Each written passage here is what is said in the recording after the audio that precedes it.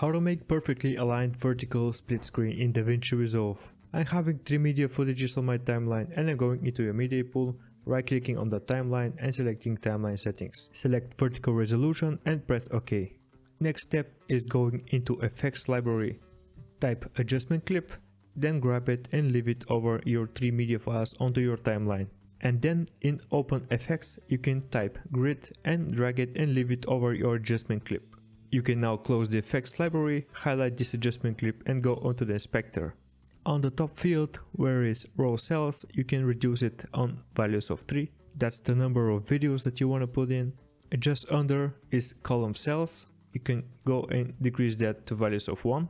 And there is one more setting which is major line spacing. You can decrease that for values of 0. This is optional based on your liking. Now when we got this out of the way, on the viewer screen in the middle, we can see that we're having the lines that are perfectly aligning, splitting the screen on three sections. You can start up by selecting this transform icon right here, then grab your clips one by one by highlighting them and decreasing the edges of it, making it sure it's fitting right in the sections of that viewer screen.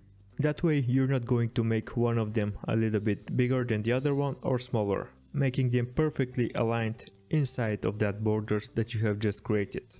And now let's preview what we're having. A perfectly aligned 3 split screen in the vertical position. If you wanna see some more effects inside DaVinci Resolve, make sure you watch this video right here, I'm pretty sure you're gonna like it. Thanks for watching and see you in the next one.